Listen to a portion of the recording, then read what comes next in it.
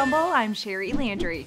The wait is finally over. The UFC announced on Saturday that a welterweight rematch between UFC featherweight champion Conor McGregor and Nate Diaz will headline UFC 202 in Las Vegas on August 20th. The bout is a rematch of the UFC 196 welterweight fight between the two, which Diaz won via second round submission.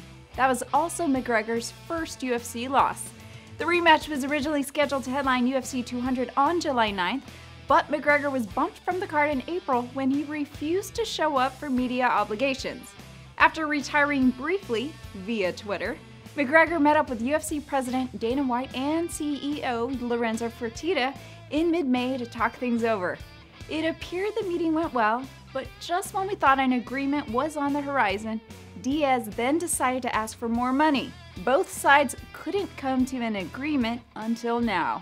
It appears Diaz will be getting his money as he's shown here, slapping Dana White in a hilarious Instagram post on Saturday night.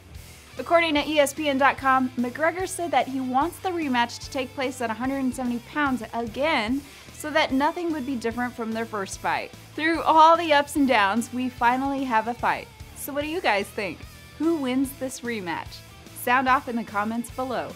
For all the latest in sports news, visit us at obsev.com slash sports and be sure to subscribe to The Fumble.